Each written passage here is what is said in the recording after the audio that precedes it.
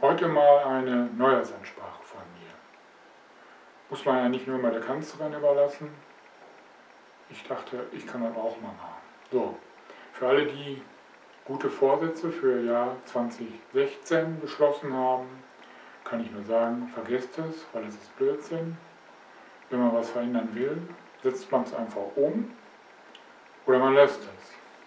Man braucht aber nicht groß auf das Jahresende zu warten, um dann das zu machen.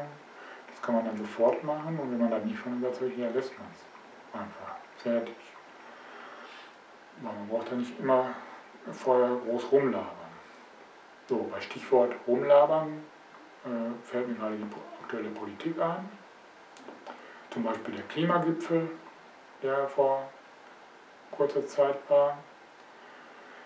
Da wird ja eigentlich auch nur rumgelabert, indem man sagt, wir müssen da die Temperat globale Temperatur niedrig halten und äh, aus dem Grunde muss dies und das geschehen, was aber eigentlich wohl eigentlich nichts passiert. Was nur passiert ist, dass wir irgendwelche teuren Sachen, sei es Bieren, sei es Autoplaketten oder irgendwas anderes aufs Auge gedrückt wird oder eben so eine äh, Umlagenbelastung bei Strom, die wir dann bezahlen müssen, aber wo man eigentlich gar nicht weiß, ob die letztendlich äh, das äh, erzeugt, was jetzt da angekündigt wird, weil das sind irgendwelche äh, Experten, die einen vollsitzen, die meinten, die könnten jetzt an irgendwelchen Hebeln da drehen und die Natur dann beeinflussen, indem dass dann in der Zukunft die Temperatur weniger steigt oder dann irgendwelche Wetter-, Klimaveränderungen nicht eintreten. Das halte ich also für Blödsinn. Einfach für Groß Größenwahnsinnig.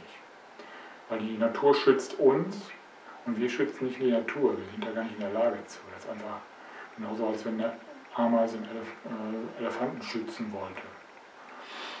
Äh, und deshalb finde ich das einfach ein bisschen größenwahnsinnig. Also der, ich, ich, selbst immer, habe immer Respekt gegenüber der Natur gehabt. Also ich bin ja in der Natur aufgewachsen.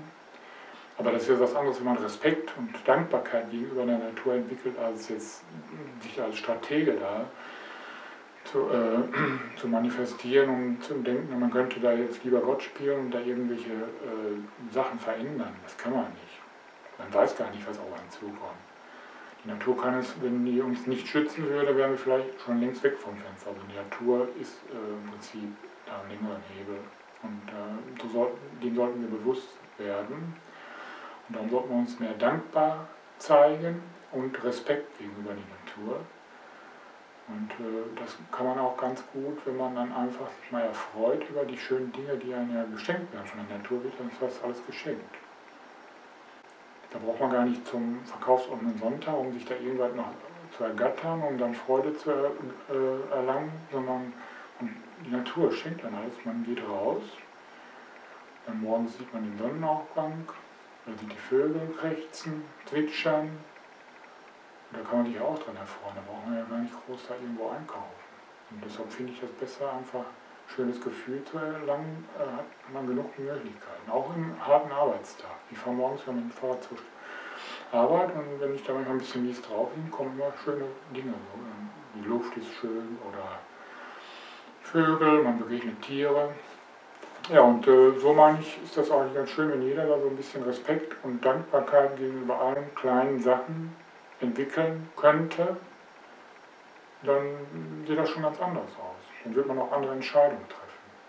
Man wird sich nicht in einen Strudel von irgendwelchen äh, Trends hereinziehen lassen oder von irgendwelchen Stimmungen sich beeinflussen lassen. Man sollte auch nicht zu viel mal Fernsehen gucken und im Internet nur rumwühlen. Man sollte einfach mal kurz nur und dann abschalten, aber dann immer wieder mal sich auf das eigene Umgebung besinnen. Finde ich besser.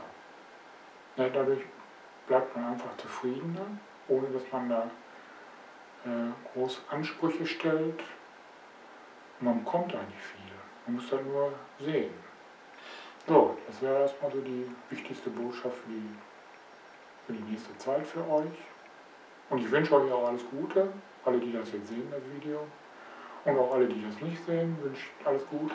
Also im Prinzip dieser spirituelle Wunsch, der sich einfach ausbreitet, geistig, wünsche ich alle Menschen, dass es denen gut geht und dass sie es auch schaffen werden. Und wenn nicht, ist auch gut. Aber ich glaube dass die Menschheit das noch schafft. Die kriegt die Kurve noch. Okay, jetzt ist langsam Schuss. Ab ins Bett.